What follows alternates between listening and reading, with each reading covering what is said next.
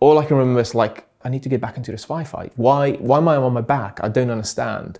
I was crawling around trying to get my rifle back into the correct firing position. That I realized that I lost my left arm, that it's just severed, that it's gone. My name is Jaco Van Gass, and I was on my second tour to Afghanistan in 2009 with the parachute regiment when I was hit by a rocket propelled grenade. I lost my left arm, part of my left leg, and suffered a number of internal injuries that changed my life forever. But I have refused to let my disability define who I am.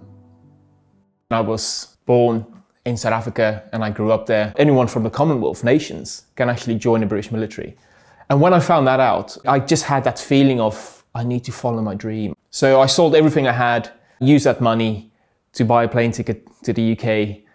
I landed on a weekend on a Saturday and that Monday morning I was in the careers office. I trained hard to make the, the cuts to get to join the, the parachute regiment. Second time going to Afghanistan, feeling that heat, the dust in your lungs, it was welcoming. And I, I was like, yeah, this is what I do, this is where I belong. And I loved every bit of it. It was the, the morning of the 19th of August, 2009. Some very, very good information came our way about an IED facilitator. And we were after this guy for a very long time. That night I was attached to a sniper and between us, we carried this set of ladders and we attached them to a backpack. And between me and him, we would take chances of carrying these ladders. We did our mission. We got the suicide bombers, we got the vests, we got the facilitator, the guy that makes them.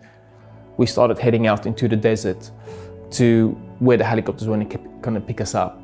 And I think about 25 minutes into this walk, a call came over the radio saying that the pilot wasn't happy with the landing site.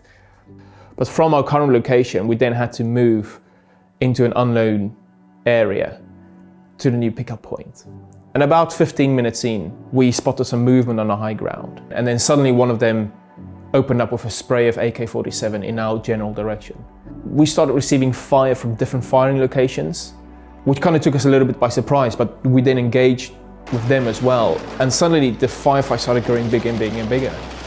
There was a Taliban training camp that we almost like walked straight into. Two RPGs was fired from my left flank and it was the second one was kind of bouncing and ricocheting off the ground.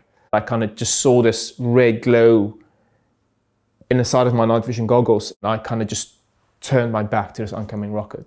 Luckily for me, part of the impact was taken up by those ladders. And I think if I didn't have that on my back, I probably would have been killed. I remember very clearly moaning about my leg a lot um, my ankle specifically. And I was constantly asking the medic, have I got my leg? Have I got my leg? Why is it so painful? And it's like, you've got your legs. We need to really work on this arm and stop the bleeding. And it's once I was on that helicopter, I was like, okay, I'm safe, but more so everyone else is safe. I can kind of relax now. I woke up six days later in Selly Oak Hospital. I had about a pint, probably even a little bit less, of blood left in me. And I remember one of my friends actually seeing he kind of peered through the window and he said the one moment I remember clearly was they just cut you from, you know, from the, the bottom of your chest all the way to your belly button and they were just like taking your internal organs and putting on the side because I had shrapnel wounds to my left side. And I had to go through it to see what's been injured to then fix it. And he walked out to get a bit of fresh air. And I think a nurse wasn't far behind him and she came out as well. And he said, excuse me. She's, he's like, Jaco must be, that's, that's him done. Like, what are they doing to him? And she's like, in the calmest voice ever, no, he's okay. He's a fighter. I've made such good friends. I've traveled the world. I've, I've done everything I wanted with the army and I felt that there was so much more. But then I realized that this, that's what's not going to be.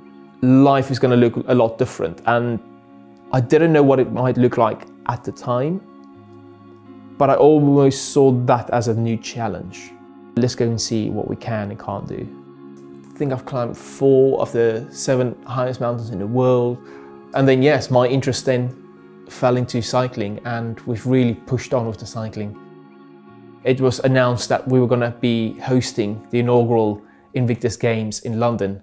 Not was it just the first time something like this was going to happen, it was also a very, very good opportunity for myself to kind of get into a games environment. Performing in in in the big stadiums. Two gold medals, one in the road race and one in the time trial. It was just unbelievable. The Tokyo Games for me is, is definitely one of my highlights. China was up and they broke a world record in the qualifying round. And I think everyone, even some of our coaches, written us off going, you're going to win a silver. I was like, how can you write us off before we even go for the final ride? And we sat down as a team and we all knew what we needed to do and it was the right moment, the right time, the right place, and we all it just clicked. And we beat China in that final, and we broke their record that they've just set a few minutes ago. We beat it again and bettered it, and we came away with the gold.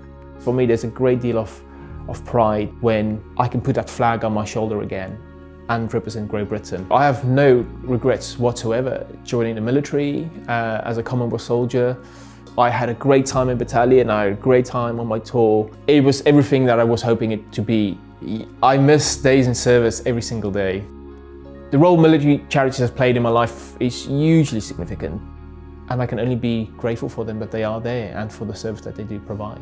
I don't think there's much more I can say than just a huge thank you to everyone that plays the lottery and a request of keep playing. It really is life changing and it, it really makes a difference. If you want to help veterans like me, please play the Veterans Lottery.